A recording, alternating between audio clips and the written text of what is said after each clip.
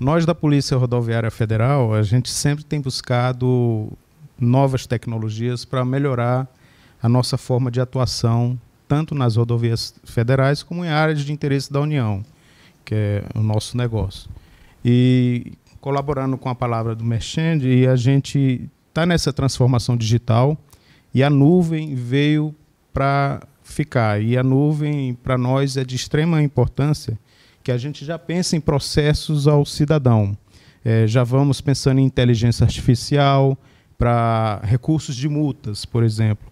Então, hoje o cidadão ele tem que se dirigir a qualquer posto policial, delegacia ou superintendência para levar seu recurso de multa e ele poder fazer isso de casa através de um sistema colocar lá, escanear seus documentos e, e isso passar por uma, uma API na nuvem, envolvendo inteligência artificial, e a gente já vê todos os processos de recursos anteriores que vão ser parecidos com aquele recurso que o cidadão está colocando, e já termos uma definição do que esse processo pode causar.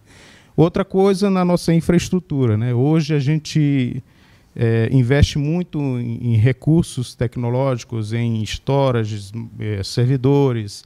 E com a nuvem a gente vai ter uma escalabilidade dependendo da demanda.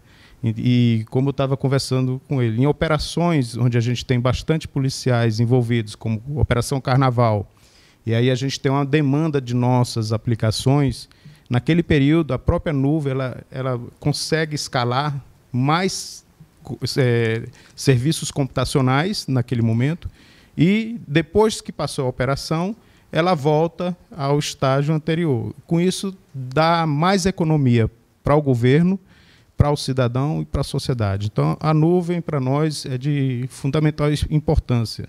Tanto que lá na polícia a gente fez a infraestrutura em nuvem, que é o primeiro momento da implementação, como um projeto estratégico para a área de TI.